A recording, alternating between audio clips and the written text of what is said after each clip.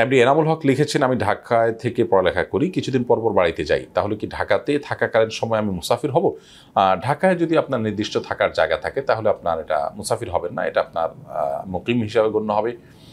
এবং সেটা ম্যাচ হতে পারে আপনার কোনো হোস্টেল হতে পারে। যদি আপনি সেখানে থাকেন, সেখানে আপনার থাকার বন্দোবস্ত থাকে, তাহলে সে, সেটাও আপনার একটা ঠিকানা।